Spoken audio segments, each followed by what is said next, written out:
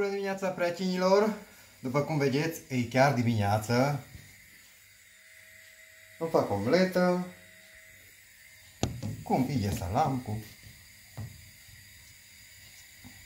Și am zis că până îmi pregătesc micul dejun să mai mă veghet un picuț. După cum vedeți, aici mi-am golit casa. Adică mi-am golit bucătăria că mi-am comandat ceva nou. O să vedeți ce mi-am comandat. Ați văzut din filmările anterioare că aveam aici acea canapea cu oase, dar mi-am comandat ceva mai uh, modern, mai frumos. Și vreau să vă spun că sunt foarte nervos pe curierul Semdei. Deci firma de la care am comandat eu și-a făcut treaba, o dat coletele la firma Semdei și deja aștept de patru zile ca Semdei să vină să-mi aducă coletul și nu mi l-au adus. De fapt, sunt două colete. Îi, colța, îi canapeaua care am comandat-o și am comandat încă doi tamburezi din aia mari frumoși și aștept să vină Semdeiu și Semdeiu mi-aduce ambele colete și aștept și aștept și aștept. Patru zile trecut și încă n-am coletul și tot așa se fac cu bucătăria. Fără canapea și din asta. Mă gândiți-vă, să stai patru zile fără colța și asta e nașpa. Deci e nașpa, vă spun eu că e nașpa. Mai n-ai ce face, că asta e România. E la noi în țară cam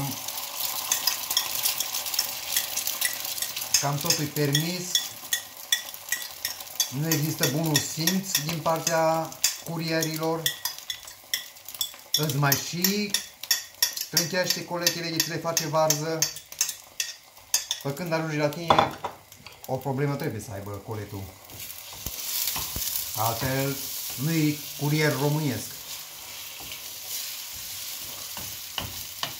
Și uitați, așa am rămas patru zile fără, în bucătărie, fără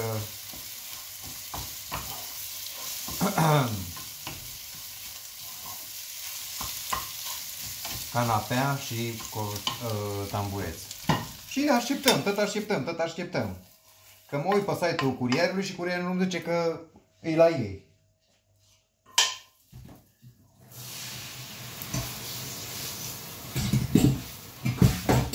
Păi deja v-am zis cu mie că era bine dacă tu nu mi-l aduci. Dacă nu mi-l aduci, înțelegi? Ce rost are să tot îmi zici că mi-aduci și iau și de 4 zile și tu nu mi-l aduci. Crepau are inima în se crepe că mă disperă deja curierii ăștia. Mă disperă la culme. Mai uitați-vă cât de egal arată bucătăria. Da. Că dacă știam, nu dădeam alea așa din, nu le dădeam așa din prima, că așteptam, dar am zis că să uh, golez repede ca să nu am și în acea zi și să car jos și și să car în sus, ca să nu îmi dau eu de lucruri. Adică... Și uitați, așa am rămas fără... Bine că am uh, masa acolo, am, am pus masa acolo și am niște mere. La mine nu lipsește merele, după cum vedeți. În dimineața asta am spus că îmi fac ouă cu omletă cu așa, cu salam. O să-mi tai și o roșie, că nu merge așa pusca, că avem probleme cu, știți voi, cu, cu înghițitul. După cum vedeți, camera mea e foarte curată. Vedeți? Foarte curată, frumoasă. Și masa asta am cumpărat-o.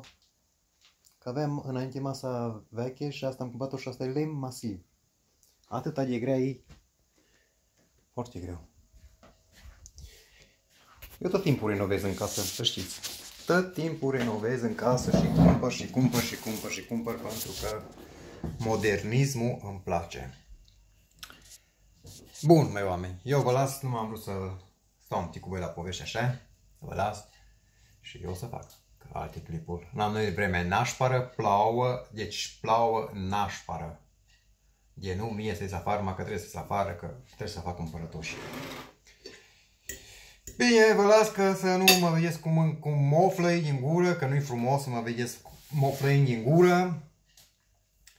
Vă las ca să mănânc și o micul dejun, că așa trebuie dimineață și ne auzim la următorul clip. Vă pup, vă pup.